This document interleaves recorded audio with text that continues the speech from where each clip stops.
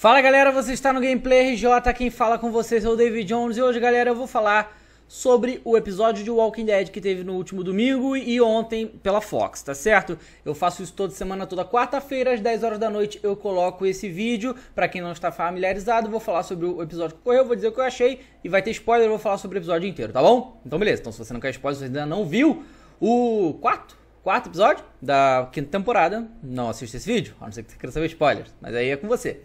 Galera, o que, que aconteceu? Eu vou dizer logo de cara que eu gostei demais desse episódio. Eu sei que tem gente que achou horrível, porque é normal, porque as pessoas querem ver todo mundo se matando, pipocando, não sei o que. Não é, o Walking Dead não é isso, cara. Se você tá vendo o Walking Dead pra ver esse tipo de coisa, vai procurar outra série. O Walking Dead não é mata-mata, certo? O Walking Dead é uma série muito complexa. E esse episódio só aumentou a complexidade, tá? O que aconteceu?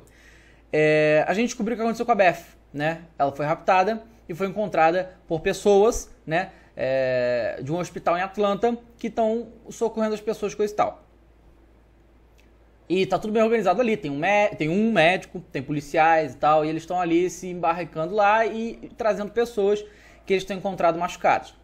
Só que eu vou logo dar de cara explicar o que, que é a verdade. Se você não reparou, no final do episódio, quando a Beth foge, do, tenta fugir do hospital, ela passa por vários carros com aquela cruz branca atrás. Ou seja, eles não estão resgatando ninguém, eles estão raptando as pessoas para colocá-las lá dentro para obrigá-las a trabalharem. Porque qual era o conceito deles? Eles te salvavam, entre aspas, cuidavam dos seus ferimentos e falavam que vocês estavam devendo a eles. E você tem que trabalhar lá, tá?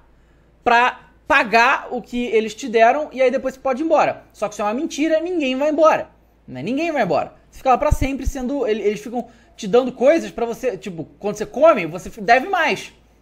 Você precisa de qualquer coisa, você vai devendo mais. E fica num, numa bola de neve. E isso tu fica preso lá para sempre. E a Beth, né? Que a gente sempre considerada de longe. Na verdade, não dá. Ela é a mais fraca do grupo do bonde neurótico. Muito por causa que o bonde neurótico do Rick é muito neurótico. Tá entendendo? E ela é, é a mais fraca. E ela nunca participou de ação nenhuma praticamente. Ela ficava lá cuidando da Judith. Ela aprendeu a, com o pai lá negócio de, de medicina, de como né, fazer alguns procedimentos. Ela sabe algumas coisas e tal. E, pô, como é que ela vai fugir disso aí? Se fosse o Daryl que fosse raptado, ele ia sair matando todo mundo e ir embora. Se fosse a Michonne também, mas eles pegaram logo a mais fraca de todos, que é a Beth. E ela não tem nenhuma condição de fugir dali. E aí a gente teve uma total nova uh, perspectiva do Walking Dead, né? É, não vimos absolutamente nada de Rick, de Daryl, Michonne, ninguém, nem do Abraham com Glenn, nada, só vimos o que aconteceu com a Beth. Eu achei isso muito legal, foram introduzidos vários personagens novos, e eu gostei de todos eles. A policial, a Dawn, a atriz é excelente e ela impecável no seu personagem. O médico também é muito bom, o cara que faz, e ele é um personagem que eu queria que ficasse muito. Foi introduzido, né, o, o ator que, que, fez a série Everybody Hates Chris, aqui no Brasil, Todo Mundo Odeia o Chris, que é uma série muito boa. E esse garoto é muito bom e ele mandou demais. O Noah, ele, eu acho que ele vai continuar. Ele, ele é relativamente famoso, ele não vai sair da série tão cedo, eu imagino, e ele é muito bom também. A, a participação dele foi excelente nesse episódio, ele foi um aliado da, da Beth, né? E aí nós tivemos também o policial tarado maníaco lá e outro e o, a tal da Joan que acabou morrendo depois e outros personagens lá meio secundários, que a princípio são só essas pessoas mesmo. Aí descobrindo que eles estão em Atlanta, né? Então isso leva a crer que a galera vai aí em Atlanta para salvar a Beth, né? Voltar e voltar para a cidade é muito perigoso. Vocês sabem que a cidade tem zumbi demais, né? E o que aconteceu foi que a Beth logo de cara entendeu o esquema. Falando com o Noah, falando com o médico e tal, eles entenderam mais ou menos como foi a situação e o que foi que aconteceu afinal. Quando ocorreu o problema, todo mundo se embarricou lá no hospital e ficaram lá. O hospital tem bastante recurso, tem comida, tem, é, obviamente, remédio pra cacete, né? É, tem condição de fazer cirurgias, coisa e tal, né? Tem, tem tudo, tem energia. Normalmente, hospitais, principalmente públicos dos Estados Unidos, tem geradores e geradores, então eles vão ter energia por muito tempo e eles conseguem extrair mais. Então isso aí é, é tranquilo. Então eles resolveram ficar lá e tentar ajudar as pessoas. Quem inventou esse sistema de que a pessoa, quando fosse socorrida, era salva, era salva, ela tinha que pagar a sua estadia, foi o médico, mas não foi a intenção dele de fazer o troço virar esse esquema. E a policial, ela parece. Eu acho, sinceramente, eu acho que ela é uma pessoa boa. Eu não acho que ela é uma pessoa ruim, eu não acho que ela é uma pessoa má.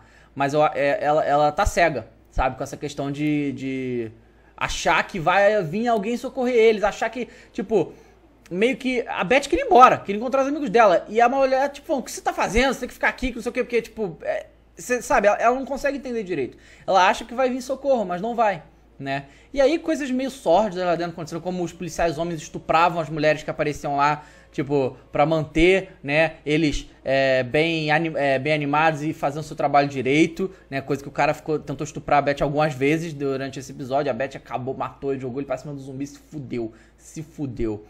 E o episódio não, não é que é devagar, mas não tem ação. É tudo a gente conhecendo aqueles personagens. Eu gostei muito, eu gosto de coisas assim. Conhecendo aqueles personagens, conhecendo aquela situação. E a gente se esperando, caramba, o que, vai acontecer agora? Porque não acabou a, a sequência do hospital. No final, quando a Beth escapa com o Noah, que é uma cena excelente, e a cena final é, é foda, que ela vai. A Beth, como vira beressa, matando tudo quanto é zumbi, boladona. Vai, o Noah consegue fugir e ela não. Ela é pega. E no final, né, pra, pra matar do coração, a Beth é pega e ela volta lá pra cima, toma-lhe uma surra da policial, que ela tem que fazer mais ponto na cara ainda, e eles vêm, é, é, eles trazendo uma pessoa na maca. E essa pessoa é a Carol. Então, o que, que aconteceu? São muitas dúvidas que eu tenho. Por quê? Se essa questão da Carol chegando lá, isso é antes ou depois do Daryl ter voltado? O Daryl vai lá no hospital e depois vai voltar para aquela cena que a gente viu no episódio anterior? Será que o Daryl tá por ali ainda? O que será que aconteceu? Quem são as pessoas que o Daryl levou para lá? para encontrar com o Rick. Porque ele fala, pode sair gente, mais uma pessoa. Não era, não era uma pessoa, era no mínimo duas. Podem sair. E aí é aquele, é aquele negócio, né? Todo mundo que se depara com o grupo do, dos heróis do Rick lá, se fode, né? Por quê? Canibais se fuderam, governador se fudeu, os zumbis nem se fala. Os caçadores lá que tentaram, que, que recrutaram Daryl, não sei o quê, todo mundo morreu. Eles não sabem.